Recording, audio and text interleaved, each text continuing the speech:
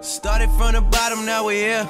Started from the bottom, now my whole team here. Started from the bottom, now we're here. Started from the bottom, now the whole team here. Started from the bottom, now we're here.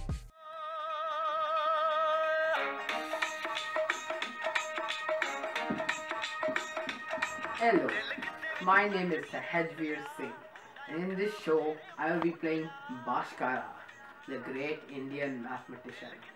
Thank you.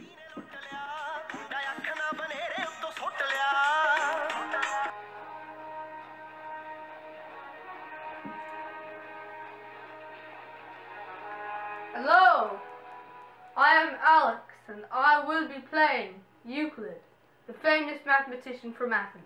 Thank you.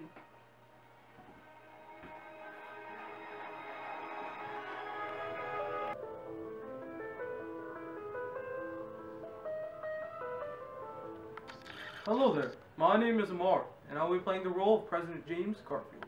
Thank you very much. Started from the bottom, now we're here. Started from the bottom, now my whole Hello, my name is Jermaine. I like to eat fish, macaroni and cheese, and I'll be playing Barack Obama. Started from the bottom, now my whole team here. I'm be teaching you about Euclid and Garfield's proof of the Pythagorean theorem. Okay, now what you want to do first is uh, draw the right triangle. And let's label it A, B, C. And then what you want to do is uh, extend the sides to make s- squares. Off of sides BC, AB, and AC. Now you have to connect lines from EA, GC, BK, BH, BL, and BJ. This is the end of the construction. And make sure you know that DBA and CBF are collinear and straight. And it's very important. Ah. In this next part, there are a couple of steps. First of all, triangle EAC and triangle BKC are congruent.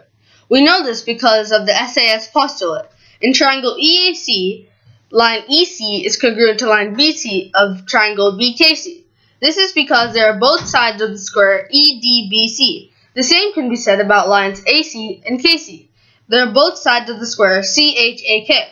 The angle ECA is made of a 90 degree angle of a square and what we call alpha. Angle BCK is also made of a 90 degree angle from a square plus alpha. Thus, they are equal, proving the triangles are congruent. The next step is proving that triangle EAC is one half of square EDBC. As you can see, the base of the triangle EAC is EC and the height is DE. This means the area of triangle EAC is EC times DE times one half. The area of square EDBC is just EC times DE. This proves that triangle EAC is one half of square EDBC. The same can be said about triangle BKC and rectangle CLJK.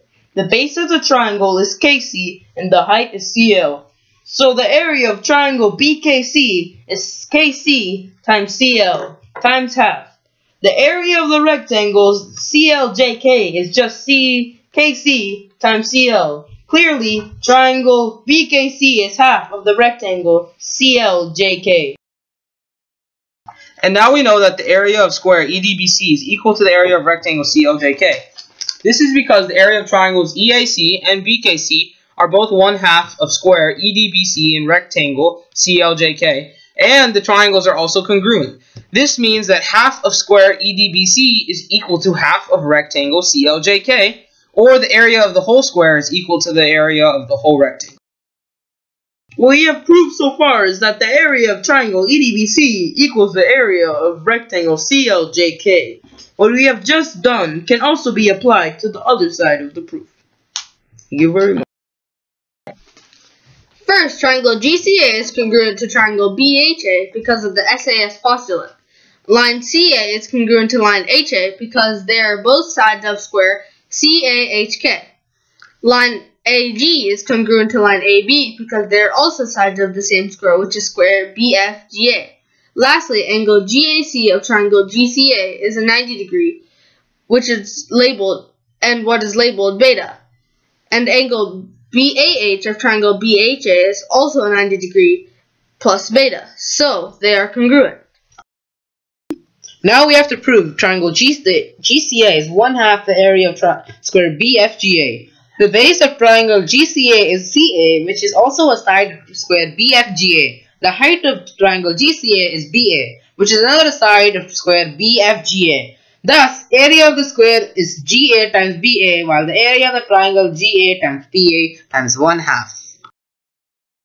You can say the same about triangle BHA and rectangle LAHJ. The base of triangle BHA is HA, and that is on the side of rectangle LAHJ. The height of triangle BHA is LA, which is also another side of LAHJ. The area of triangle BHA is HA times LA times half, which is while the rectangle is HA times LA. This proves the area of BHA is half the area of rectangle LAHJ. Now that we know that triangle GCA and triangle BHA are congruent, and they are both one half of square BFGA and rectangle LAHJ, we can say that the area of square BFGA and the area of rectangle LAHJ are equal. We know that square EDBC is equal to the area of rectangle CLJK, and we know the area of square BFGA is equal to the area of rectangle LAHJ. So that means square EDBC plus square BFGA equals rectangle CLJK plus rectangle LAHJ or square GAHK. This shows that AB squared plus B squared BC squared is equal to CA squared, or in other words, the Pythagorean theorem. This concludes the proof, and always QED.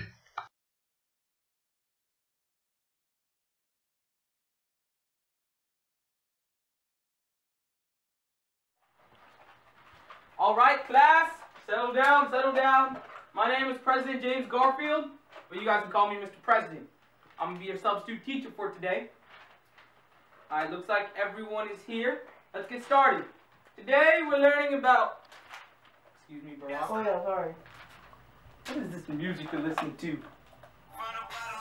Oh! This is disgraceful! You need to pay attention in class! Alright. I brought here a friend of mine. This is Euclid. My name is Euclid. I was born and raised in the great city of Athens. I was the creator of the Book of Elements. I was the greatest mathematician of all time. Ah, yes. Good to meet you, sir. Good to meet you. And this is my friend Bhaskara. Hello, I'm the great mathematician Bhaskara. I'm from the country of India and my family has a long tradition of being the greatest students in the math class. Now I'll pass that on to you. Good to meet you, sir. Good to meet you, sir. Good to meet you, sir. Good to meet you too, student. Be teaching You, this man's amazing proof. Of the Pythagorean theorem. Uh, no offense, but you guys are a bunch of bozos. You shall learn to respect me. I may not be the fiercest warrior, but I will kick your big behind like the Spartans did in the Peloponnesian War. I, I, I don't know, guys. I don't see why this is so important. So, Beta, what do you want to when you grow up? I don't know, the president? No! You shall become a doctor or an engineer or you will disgrace your family. Alright, alright. We came here to teach him, not to kill him. And you, you better learn to respect me, okay? I was the second smartest kid in Waterville, Vermont, behind that awfully handsome guy, Mandy Norse.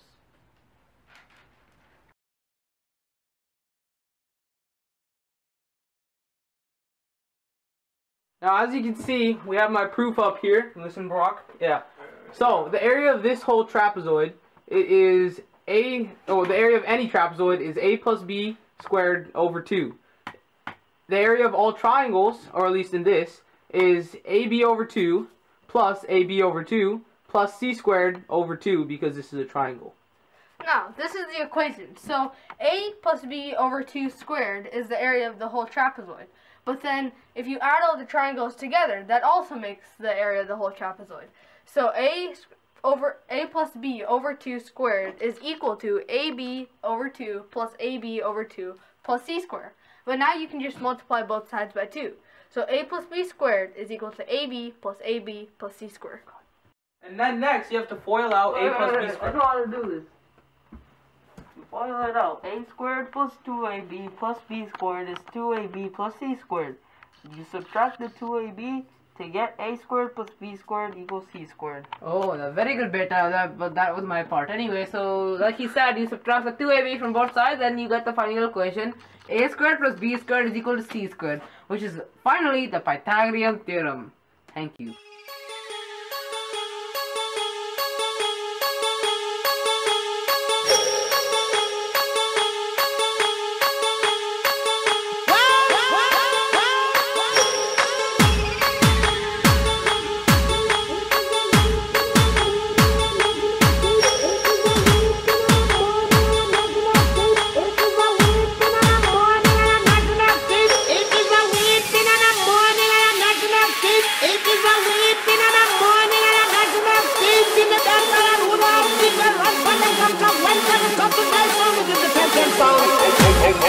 Okay.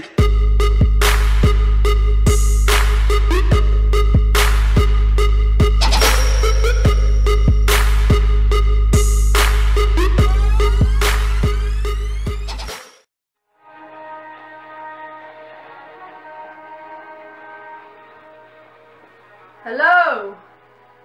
My name is Alex, and I will be playing Euclid.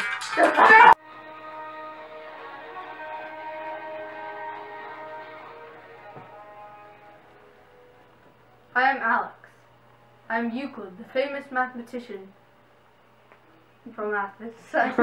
And we're going to be teaching you about Euclid's and Garfield's proof of the Pythagorean theorem. Do I press the button? yeah, yeah. Ah, yes.